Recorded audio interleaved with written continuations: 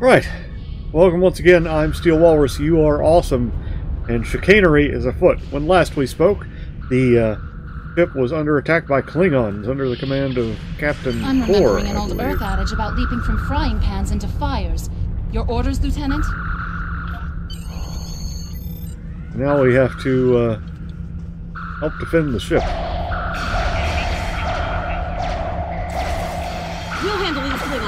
Sounds like you're needed in the engineering lab. Well, I'm already shooting.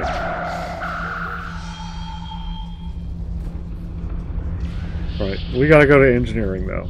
Let's go ahead and do that. I'll cover you while you clear out the lab, Lieutenant.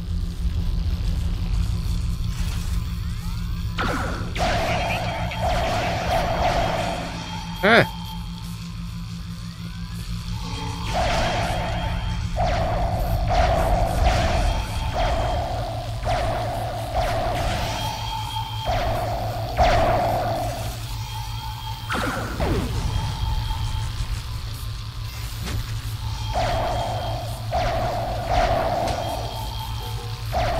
Shut down There we our go. primary plasma conduits.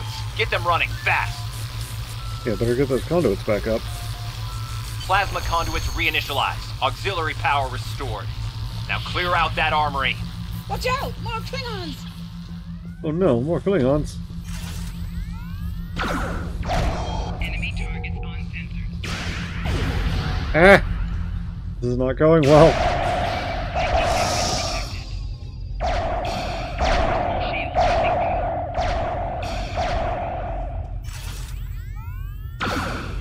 Alrighty. Well, I don't see anything else in the armory.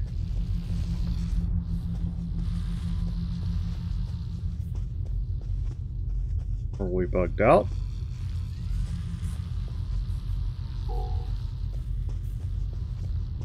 I'm a little concerned that we may have. Great work. There we go. Secure Okay, engineering cool. if you can. That was harrowing. We've cleared the rest of the deck, Lieutenant. Well done. Let's clear out main engineering now.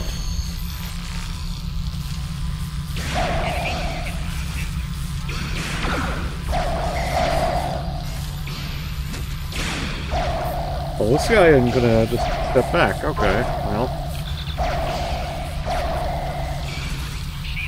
Oh, and now he's got a weird visor thing.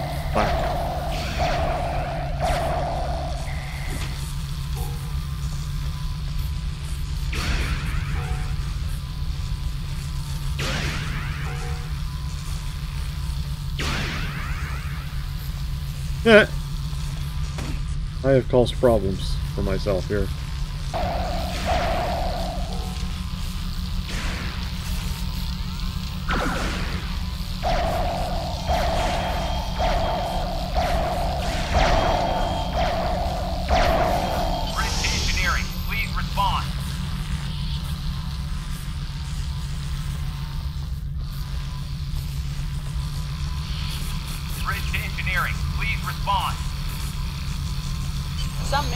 Star Trek Online will change based on your career track. That is what I was talking about the last episode. Or tactical. And I think it's pretty cool. Okay, so we gotta restore the weapon power relays. Weapon power relays are up and running. Charge all phaser banks. I need you on the bridge, Lieutenant. Alright, back to the bridge. Sir, incoming transmission.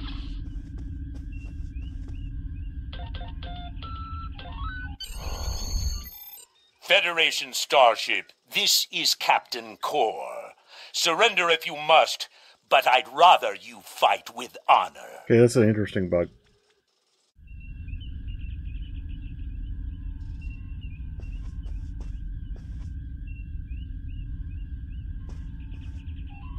Good work, Lieutenant. The Klingons will think twice before they try to board this ship again. now take the helm. We need to get to a friendly sector. Alright. Congratulations. More XP. And we got our uh, new person. That's cool. Sensors are picking up Klingon power signatures in two nearby satellites. I'm thinking they're broadcasting the distress signals that lured in our ships. Bring us in close so we can scan them and find out. Here we go. Increase your speed using E. Decrease your ship speed by using Q. All right. This is where the game actually starts to to shine a little bit. I think they do a, a good job with space Science movement and combat. coming in now. Satellites are using a triaxulating Is it perfect? signal. No, but Strong enough to cut through the good. interference, and Especially for the- ships the outside time it the came out. nebula. Use your torpedo to attack enemies who are not shielded. Ship is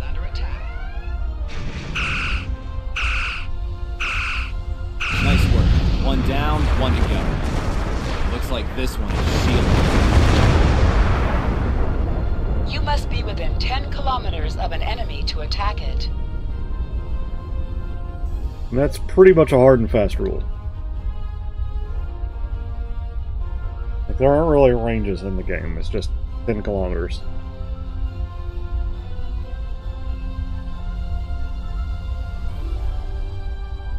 Uh, Plus, evasive maneuvers actually gives me better speed, but I'm not going to use it until I need it.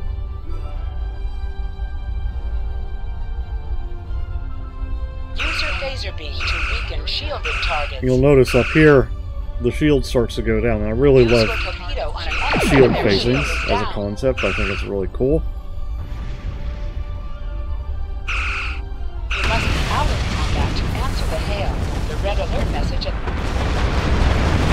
So it'll show you up there if you're in combat, so it's getting at. Okay, Can can you hear us? We're under attack by Klingon raiders. Our shields are buckling. Won't last long.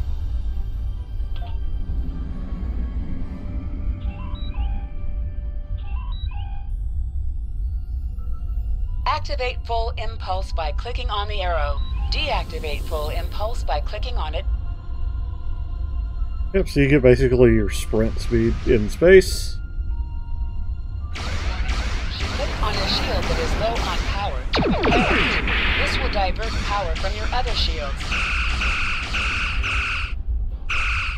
You also have weapons like, so right now that I'm on broadside, I can fire both my aft and forward laser, phaser things. And I can turn in, and I can even pull my nose up to get a little bit better range, or a little bit better angle on that D5. And uh, there you go. That wasn't my best flying ever, but I think uh, I think you get the point.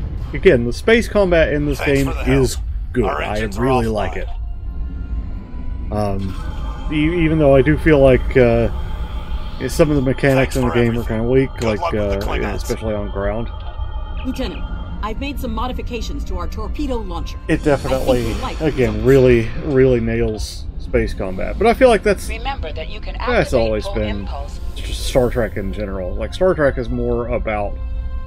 Um, Activate well, high it's yield not really about any any combat stuff, but definitely definitely been mostly about. Uh, okay, we can set these Go to idle, ahead. by the way. Decorate my bridge.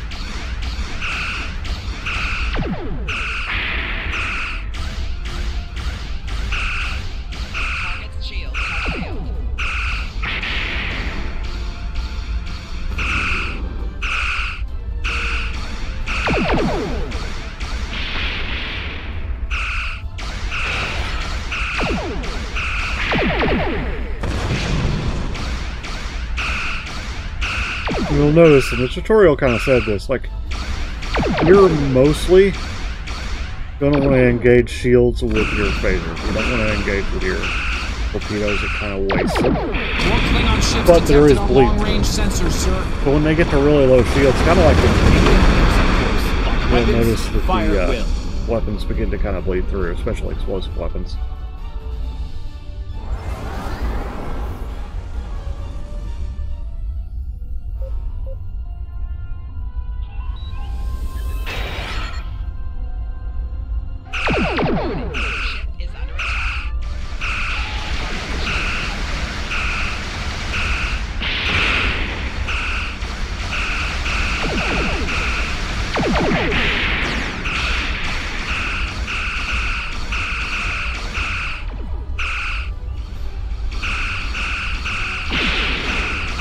Kind of like an Eve, you're doing a lot of uh, doing a lot of orbiting, but you're also managing your uh, your facing.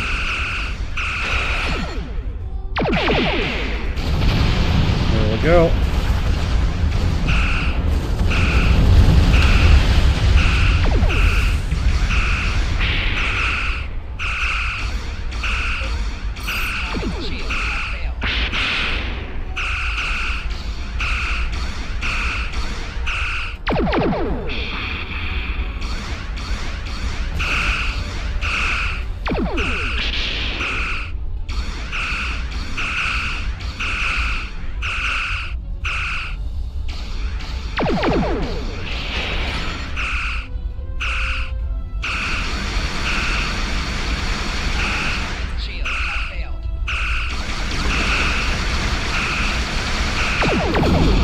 Yeah, there we go.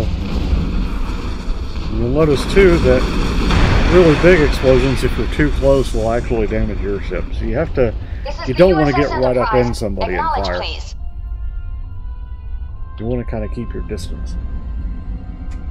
Oh, Enterprise is uh, So, engaged The over cub there. comes to fight beside the wolf, eh? And now you will die with him as well.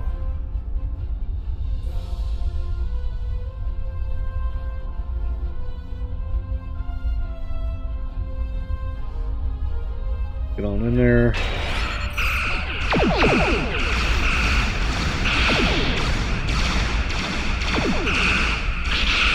Uh, shift also fires any weapons that are in arc.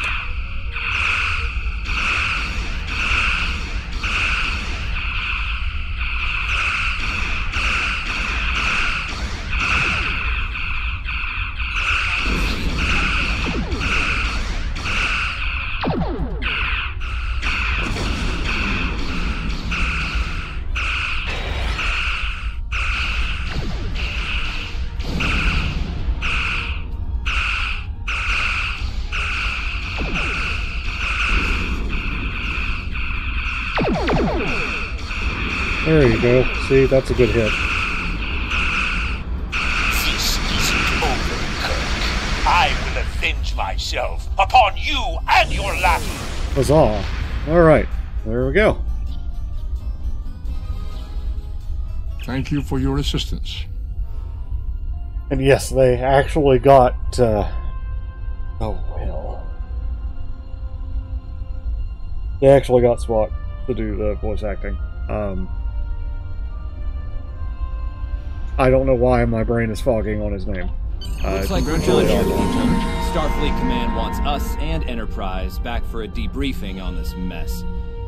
Helm, set a course for Earth space dock. Warp factor. Right, back to Earth Space Dock. Leonard Nimoy, that's his name. Nimoy, Nimoy, however you want to pronounce it. Um, I've I've heard it both ways. Now, one thing uh, about Star Trek Online is that it's it does respect the canon, and I've seen them go and change things as the show, like the current shows, have evolved. Uh, however, it does kind of exist in its own instance of time.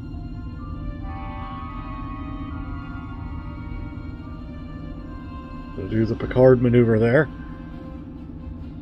Captain Garrett wants to see you in his office, Lieutenant. But he says to feel free to mingle with the other officers first. I'd take him up on that if I were you. I mean, how often do you get the chance to meet the crew of the Enterprise? The best of the best. That they are, Tarzi. That they are. Also gonna switch over to my sidearm so I'm not running around with a big old pistol on my back. Oh wow, got all kinds of people. You got Ensign Mears here, we just talked to a minute ago. It's been a pleasure working with you. I didn't enjoy going back to Taurus II, but we got the job done thanks to you. Starfleet First Officers must be my good luck charm. Captain Garrett has requested me for a new logistics position here at ESD. Might not be as glamorous as the Final Frontier, but I've accepted. Until next time, good luck out there. Now, another thing I think is important to point out is that the people that made this game love Star Trek, like genuinely love Star Trek. So, I you know kind of respect the uh, the passion. You'll notice a We're lot of. Starfleet I'm not Academy talking to- together. I'm pretty sure that's uh, well, uh, Koenig name something Koenig. Walter Walter Koenig. Dr. McCoy here. If you're going into the lion's den, you'll need a medical officer. but I think they're using the sound bites from the uh, the series.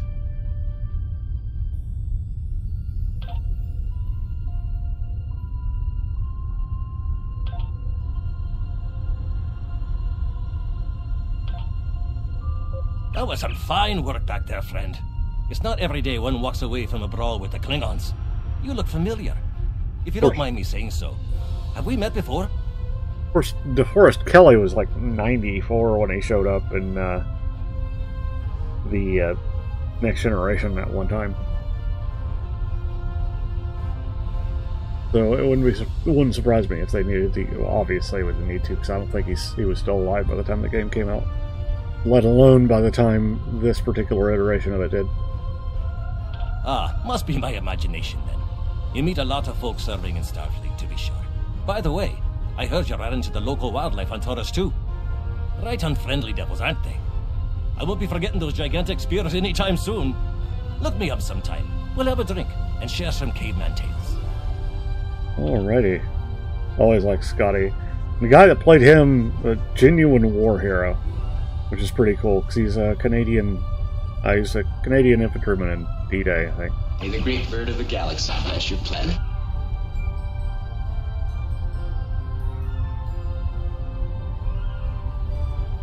And uh, George Takei is still up and around. And Lieutenant I think Uhura of the Nichelle Starship Nichols Enterprise. is still alive, but I'm pretty sure she's fairly ill.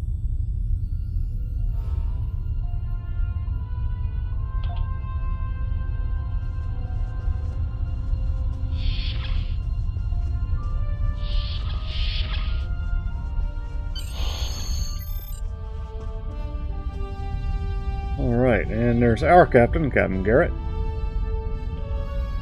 Thanks for coming. I have some good news to share.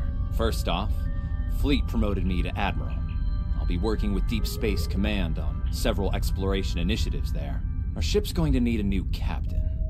I've talked it over with Command, and they agree with my recommendation. You. Congratulations, Awesome. my friend. I know the ship will be in good hands once I'm away. Don't think you've gotten rid of me, though. I plan on keeping you plenty busy out there. Congratulations, Lieutenant. Every generation, Starfleet officers hear the call of duty. Hidden dangers lurk in space, and the threat of Klingon attack has made even the most stout-hearted reconsider their choice to travel throughout the stars. A last-ditch effort to find a common ground could end this conflict. But there are many who oppose peace. If the Federation is to be saved from chaos, new officers will need to take up the task of restoring peace. Live long and prosper, Lieutenant. Cool. And yeah, I, I am pretty sure they got Leonard Nimoy uh, to do that voiceover. Congratulations. I know he is the one who does a lot of the, the like wiki uh, narration and stuff. Like that's definitely him.